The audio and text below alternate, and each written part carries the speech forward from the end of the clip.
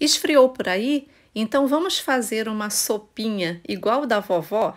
Aquela sopa de fubá com costelinhas de porco e linguiça?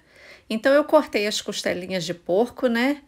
Em cubinhos e temperei e deixei marinando. O tempero é a gosto. Eu cortei também linguiça de porco gourmet, aquelas caseiras sem conservante. Levei a linguiça para fritar numa panela de pressão. Enquanto isso, eu hidratei duas xícaras de fubá com água e reservei.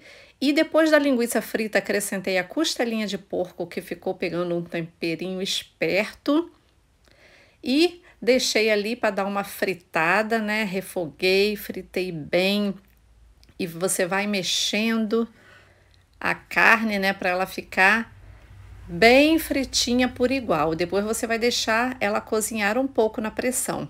E misturei de novo o fubá e depois eu acrescentei aquela mistura de fubá junto com as carnes que já estavam prontas, né? Que eu fritei e deixei cozinhar um pouco e acrescentei mais um pouquinho de água.